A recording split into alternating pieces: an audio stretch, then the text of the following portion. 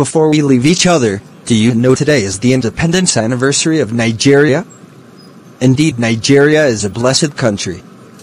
The people just don't see the blessings, because they don't count their blessings. Nigeria is really blessed. But no matter how blessed a country is, I will mean nothing if the people in that country don't have good ways of seeing or viewing life. See you later then. If we exercise tomorrow, we will surely meet again. I really love exercise, because I think new thoughts each time I do exercise. Okay. Your name is Philips, am I correct? Yes, I am Philips and you are Christmas Santa.